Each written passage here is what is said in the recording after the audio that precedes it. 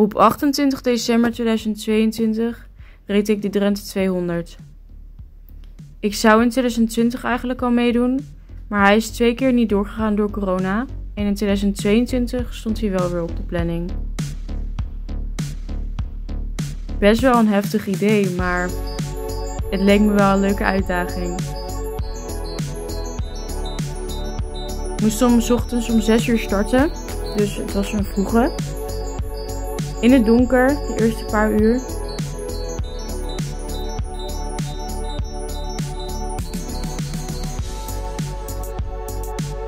We startten met best wel veel mensen tegelijk, omdat er heel veel inschrijvingen waren. De dames mochten vooraan starten, dus daar had ik leuk een voordeeltje. Eerlijk gezegd heb ik me alleen bij de wedstrijd opgegeven zodat ik wat speling had.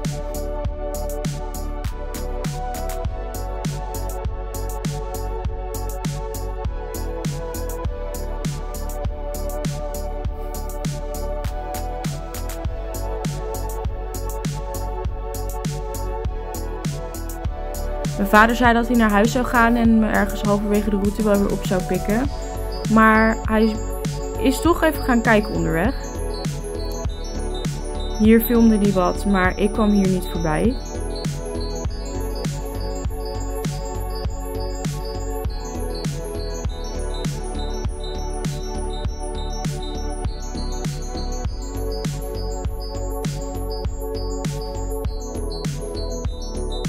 Dit was trouwens wel een chill stuk, want hier had je wat meer asfalt. Sowieso aan het begin. Ik denk omdat je met zoveel mensen start, het best onhandig is om al best snel onverhard te gaan rijden. Maar dat was wel even goed om in te komen of zo.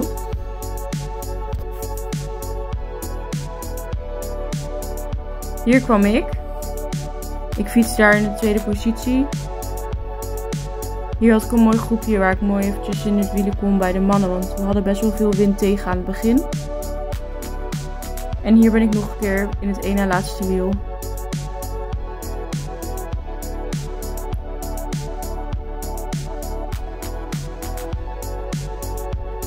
Na 40 kilometer hadden we de eerste tussenstop, of na Food Point. Um, daar kon je dus even wat drinken halen. Ze hadden allerlei snacks staan die je kon nemen, dus daar heb ik even goed gebruik van gemaakt. Het eerste stuk viel best wel mee qua uh, paden. Ze waren wel goed het was wel onverhard, maar gewoon goed te doen. Nat natuurlijk, maar dat is denk ik logisch, want het had best wel veel geregend de dagen ervoor. Hier kan ik even vertellen wat voor een bende ik weer vond, na 40 kilometer al. En mijn vader is daarna naar huis gegaan en thuis heeft hij me goed in de gaten gehouden omdat ik de live track van mijn Garmin aan had staan. Dan kon hij me goed volgen en dat hebben de mensen uit het dorp en mijn familie ook gedaan. Zodat ze soms ook eventjes konden kijken onderweg. Zonder dat ze zich afvroegen waar ik eigenlijk bleef.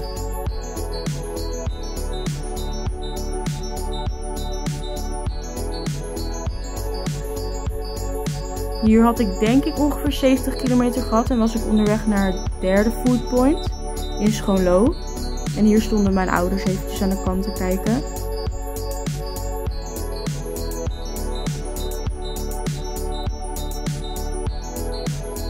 Hier kwam ik bij het foodpoint in Bijlen. Dit was ook de wissel voor de estafette. En hier stonden mijn opa en oma ook. Dus hier stopte ik even.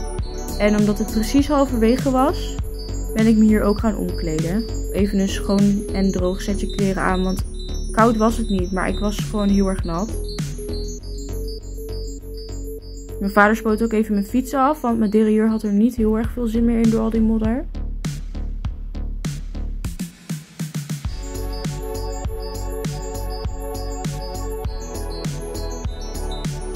Hier had ik het echt super koud, dus ik wilde best wel graag verder. Maar mijn vader wilde mijn lamp nog van mijn stuur afhalen.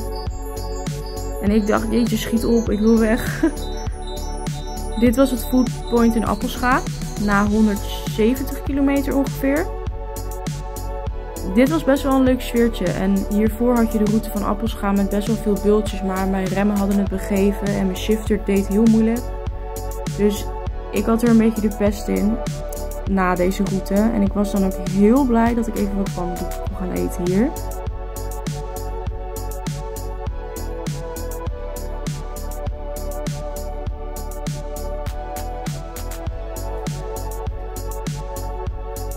Hiervoor hadden we heel veel onverhard gehad. En um, een aantal mannen zeiden tegen mij dat het vanaf hier best wel veel verhard zou worden. Maar het jantpad moest nog wel komen. En voor de mensen die dat pad niet kennen, dat is het meest blubberige pad van het noorden. Dus daar keek ik tegen op. Maar ik was wel blij dat er iets meer verhard in zat.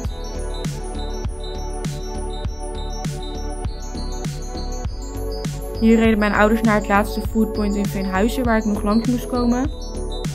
En vanaf Appelschaat tot Veenhuizen heb ik heel weinig onverharde wegen gezien. Wat ik ook niet zo heel erg vond hoor, na zoveel kilometer al.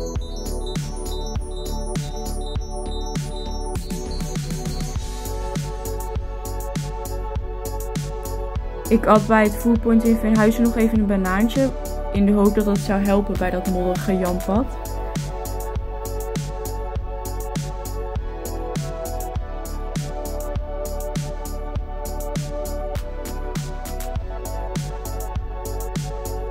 En hier ging ik weer verder. De laatste 20 kilometer. Het is niet zo heel goed te zien, want we kwamen pas in het donker terug. Maar mijn ouders kwamen nog even naast ons rijden. Ik weet niet of we het jampad hier al hadden gehad, maar alles was zo modderig dat ik echt geen idee meer had welk pad überhaupt het jampad was. Het lag er heel slecht bij. Hier waren mijn ouders al aan het wachten bij de finish, want we waren bijna terug. En daar kwamen we binnen.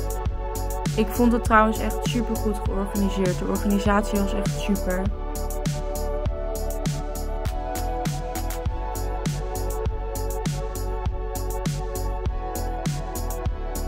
En iedereen die de finish haalde, die kreeg natuurlijk een medaille. Dat is toch wel leuk.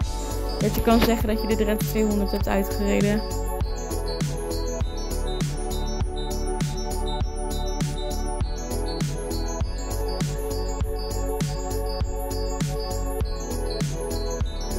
Je kreeg ook een muntje om wat eten te halen.